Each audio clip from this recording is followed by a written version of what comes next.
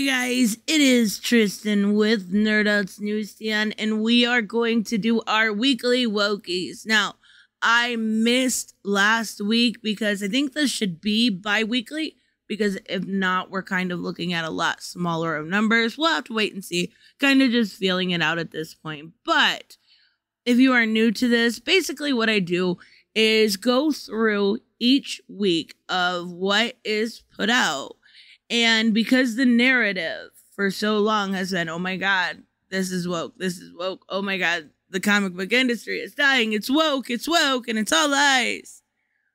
We look at the percentages. We look at the totals of books that are good compared to bad or compared to woke, depending on your perception or yeah, everything is good or bad is subjective. So Let's take a look. We're going to start with August 11th. That was the week I missed. If you're new to the channel, hit subscribe, like, leave me a comment down below.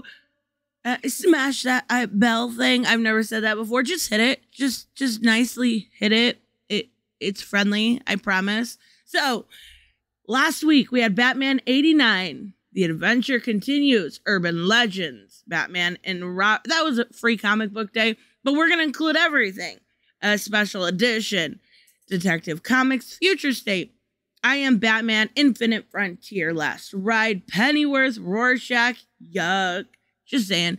Free comic book day for Suicide Squad. Teen Titans. Oh, that is a YA novel for free comic book day. Scooby Doo, Joker, Wonder Woman, and Hardware.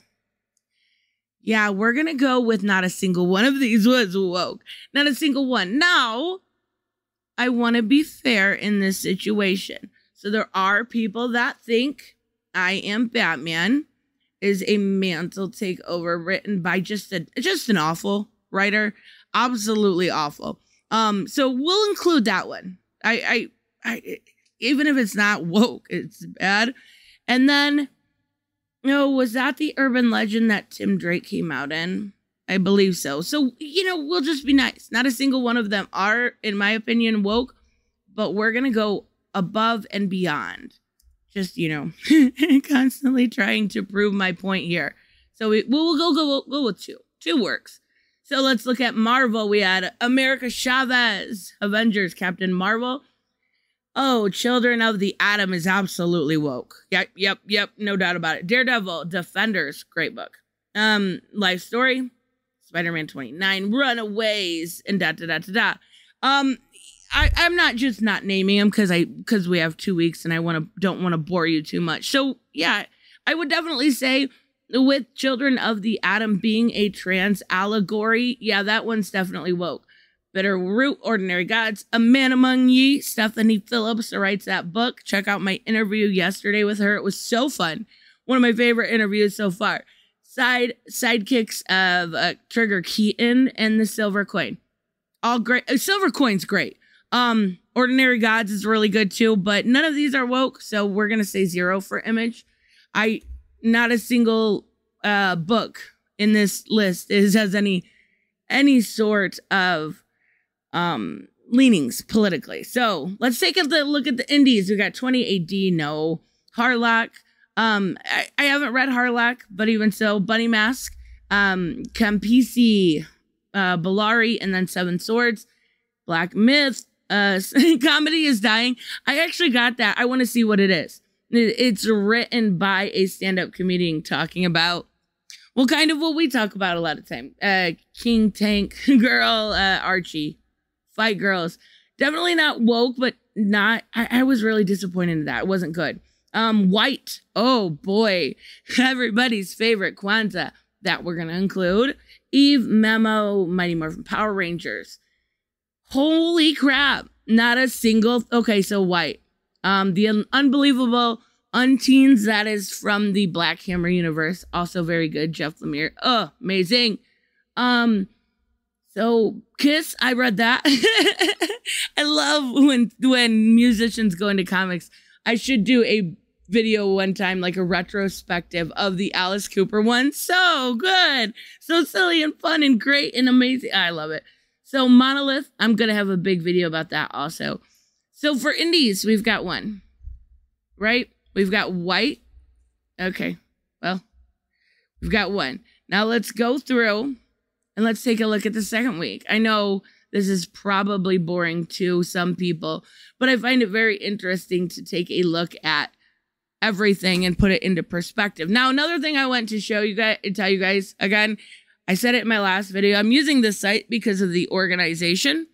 I'm using this site not because it is a pirating site. I'm using it because it's a problem in itself that I have to use a pirating site to find out every single title that came out.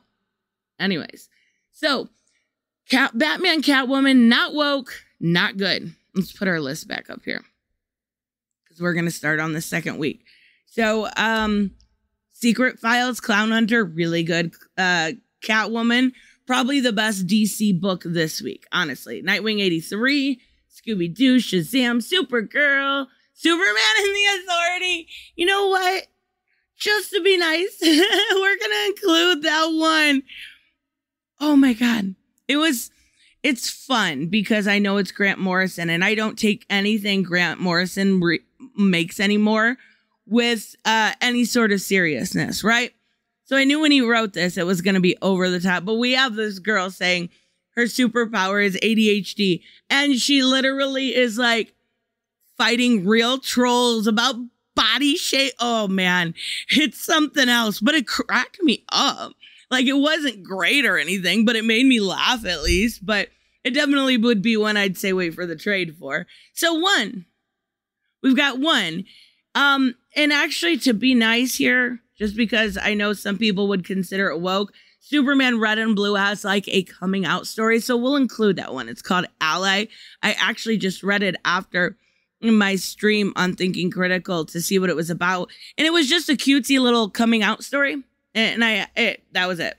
So, anyways, Marvel. Let's see what we have here. Black Cat, and that's one of those titles I really try to like because I love Catwoman. It's very similar, and I just it's hard to. Um, Gamma Flight, Guardians, Iron Man Kang, The Conqueror, Miles Morales, Marauders. Um, I actually only read a couple books this week, so I had to reach out and ask a few people on this side of it. Sinister War was really good, and this issue was bad. This, it just wasn't. Trial of Magneto, I read that. It was okay. Um, uh, is there anything? Okay, so I didn't find anything out about the Marauders, and we'll just say it is. Even though I feel like most of these were going, we'll just say it is. We'll just say it is. So then we have homesick pilots, man eaters. That's oh boy, Chelsea Cain. Um, I don't know why anyone would put themselves through that pain, but maybe people like it. Maybe Nocterra. Absolutely recommend. Ascender's Compass, Home. That's the second one. Um, Jupiter's Legacy, another one. So good. The art, oh, to die for. Sorry. Um, Risen, Black, uh, Radiant Black. I jumped off on that. I mean, second chances, uh, Walking Dead, and Time Before Time. So we're gonna say for Image, the second week we have two. We have two. We have Home and uh, Man Eaters. Oh boy, let's take a look at the indies. Oh, we've got Judge Dredd. We've got the Chimerian, another really really great recommendation if you're into that. God of Tremors, another one, Beyond the Breach, both really good. So I'm telling you, you can find really good books, but you have to look at the sometimes, sometimes you just gotta look at the indies. Very, very unique ideas.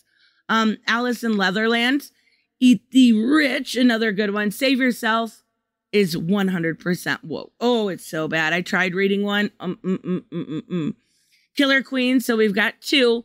Um, I haven't read it yet, so like I can't say for sure. But it's about two gay superheroes saving stuff in a gay way. I, I, I might love it. I might love it. I might. You never know. But yeah, we're gonna say two. Uh, Sacred Six, Dynamite Lives. It, we, do we even have any? Okay, so these are European comics. I did not include these in the total because I was not able to even either A, get a hold of them or have somebody that read them. So I didn't include those in the total, so we're not going to include them in the woke. Uh, Bermuda, beautiful art, beautiful art. Um, and that's that's it. X-O Manowar. I wish I could jump on that again. I do, and Ninjak, but nope. So we've got two for week two, right? We have two. So we the, the, am I making a point yet? This is the second time we've done this, the third week. We've got four from DC total, two from Marvel, two from Image, and three on the Indies. That is insane. That it is that low. And people freak out so much. Um, and I don't understand it. So we've got 11 and uh 100 let's get the percentage here. So basically what? 7%, 7 to 8%. Again, just as low as last week. Last week we figured about 5 or 6. Um and it was um oh, I, I guess we were being a little bit nicer. Let's look. I've got the totals here. So last week we had 6. So it's about 6 a week. If you look, well, yeah, about 6 a week, 5 to 6 a week. And if there's a market for 5 to 6 a week, I have I see no issue with this. So again, a lot of screaming that the comic book industry is woke with absolutely no proof. The proof is in the pudding, honey. And the pudding's on the screen. Okay, that was really, really dumb. I don't know why I said that. Forgive me for the terrible puns that I can't even make sound bad. It's not a big, it, it's nothing. There's nothing here to scream woke about. Seven to eight to nine percent six titles a week out of maybe 70. Yeah, I don't see the issue. But let me know. Let me know what you guys think. I will see you in the next one. Bye bye.